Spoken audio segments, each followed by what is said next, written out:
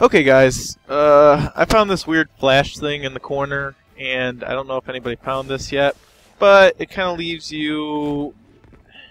It leaves you in a running man stance, and it makes you face uh, the wrong direction, and you have to cancel it by pushing out this direction. Um, you'll see what I mean when I finish the combo, but you kind of have to be spot on with it. Uh, you can do it off of any meter burn um, kicks, or I think you can do it off of pretty much like meter burn forward three. Probably do it off of this too, but I only really tried it with the meter burn kicks because it's pretty tough to hit. So I'm just going over and over and over trying to hit it.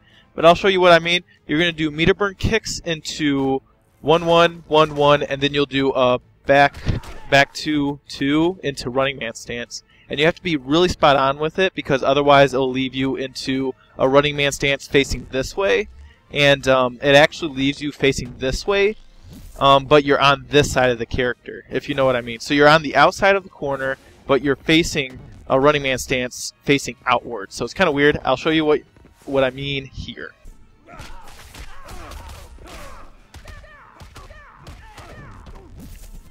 All right.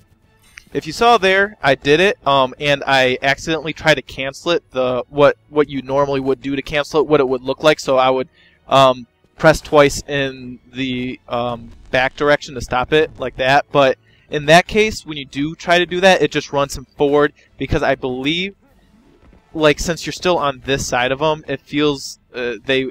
I don't. I don't know. It's just tricky. Um, I'll show it to you guys another time. it's tough. Okay, and then I, I canceled it by pushing uh, this direction out like that. Even though it, I know you're facing that direction, it's weird. I haven't used this online at all, so I, I don't know how well it works against human players. I, it's just really hard to hit.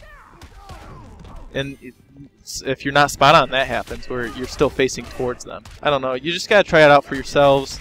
Uh, I'm going to try to hit it one more time. And then it, it, leaves you on the outside, but you're facing outside. So it's really weird.